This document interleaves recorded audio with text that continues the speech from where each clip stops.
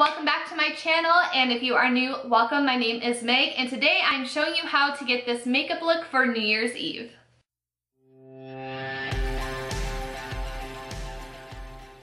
So I don't have my phone in here, but I definitely want to link who I got inspiration from, so that will be in the description bar. I can't remember off the top of my head right now, but I thought that this would be like a really good kind of different New Year's Eve makeup tutorial. I think that it's kind of like on the beginner friendly side. You guys are probably looking at me like this is smoky AF, this is not beginner friendly, but it is pretty simple to achieve if you're comfortable with blending. Obviously, you don't have to smoke it out as much as I did, but I did like the little glitz and glam of the glitter liner. So then in that sense, I do think that it is a beginner friendly makeup tutorial. So yeah, enough with the chit chat. Let's roll into tutorial so you guys can learn how to do this thing.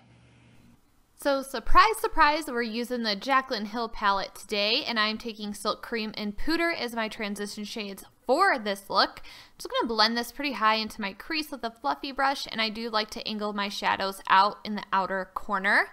And moving along, we're going into Buns. I love this. It's kind of like a red toned brown and I think it's gorgeous. So I'm going to blend this not as high as the other two shades and by the way don't mind my nails. I used a purple shampoo and was lazy and didn't use gloves, so it kind of stained the skin underneath my fingernails. Not that anyone really cared, but now you know. and now we're going into chip, and this is like a really deep, smoky brown, and I just think it's super gorgeous. So I'm putting that right above where my crease starts, and I'm blending that, but not super high up into the crease. Then I'm going to take a shader brush and pack this all over the lid and then I'm going to give it one final blend. For the lower lash line, I'm going back in with that chip color that we just used and I'm taking a flat liner brush to line my lash line.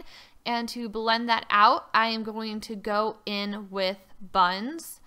And when I'm doing my lower lash line, I really like to take the shadows and smoke them out a decent amount. Obviously, um, you don't have to do this, but I think it helps bring balance to the look.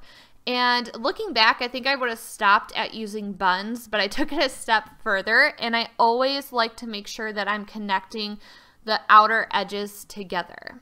So here I am taking Poudre, which was one of the two lighter shades that we used in the beginning, just to smoke out that outer edge. Lastly, I'm going to take in Light and Beam, which are the two highlight shades, and I'm going to put that on the brow bone. And then I'm also going to pack that into the inner corner.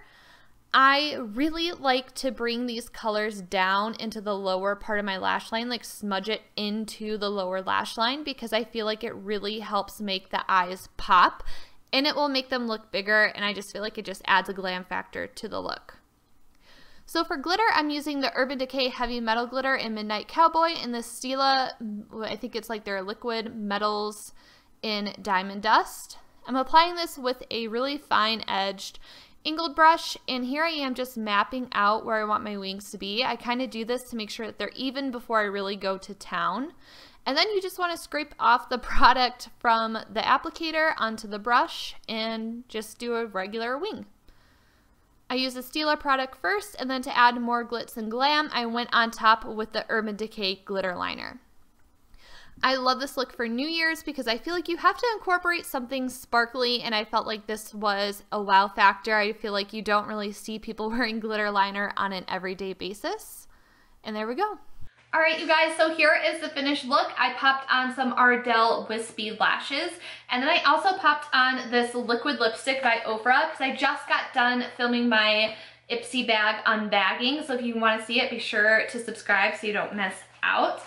But anyways, I used the color that was in there, and I think that this is just a color specifically for Ipsy, and I honestly feel like, can we focus? Hello? There we go. I honestly feel like it was specifically made for Ipsy and it's called Ipsy Unzipped. I could be wrong. But anyways, a random side note, this reminded me a lot of their color Duchess with Nikkie tutorials. So I did a side-by-side -side swatch. This is an Ipsy color, this is a Duchess color. In case you wanted to know, now you know, your life is different now. But yeah, I was gonna go with the Ofra nude lip and I'm, you know, happy I opened this and changed my mind. I feel like a berry lip is something that's pretty unexpected for New Year's Eve. So I hope you guys found this tutorial helpful. I think that it's pretty like beginner glam friendly because it's not like a crazy cut crease or anything and you do just have like the glitter from the liner. Obviously, you don't have to smoke it out as much as I did, but I hope you guys really enjoyed this. Don't forget to subscribe so you don't miss out on my videos. I'm putting out a lot of reviews and some tutorials for y'all. Leave me a comment down below with what you would like to see from me and what your plans for the holiday are. I would love to hear from you guys. Thank you so much for watching, and I will see you next time. Bye, guys.